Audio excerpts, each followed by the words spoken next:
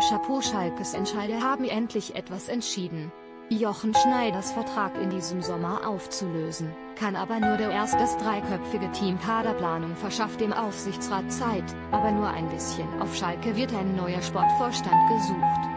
Imago Images als der Kicker am Januar exklusiv vermeldete, dass der FC Schalke schon den Nachfolger für Jochen Schneider sucht, fühlte sich der Verein bemüßigt, eilig eine Gegendarstellung zu veröffentlichen.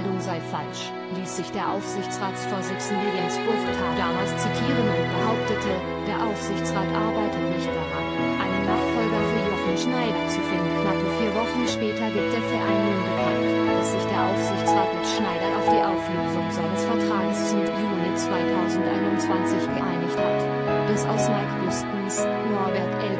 Peter Knebel bestehende Team Kaderplanung nimmt die zweigleisigen Vorbereitungen für die nächste Saison in die Hand. Schneider darf dem Trio beraten zur Die Suche läuft es lässt sich also feststellen. Gesucht haben Buchter und Co. sehr wohl auch schon damals einen Nachfolger für Schneider, nur gefunden haben sie noch immer Ex-Profi Büskens, Jugendtrainer Ikone Elgert und knappen Schmiedekopf-Knebel springen als Übergangslösung ein. Der Club, allen voran der Aufsichtsrat, muss den dreien sehr dankbar sein für diese Bereitschaft. Sie verschaffen den Entscheidern Zeit bei der Suche nach einem neuen Sportvorstand, der jedoch nicht erst im Sommer im Zuge von Schneiders vertraglich fixiertem vorzeitigen Ausscheiden kommen darf, sondern lieber heute als morgen präsentiert. Es geht schließlich nicht nur um die Planung des Kaders, auch die Verpflichtung eines neuen Trainers. Dieser sollte von niemand anderem als dem neuen Sportvorstand ausgesucht werden, was ebenso für den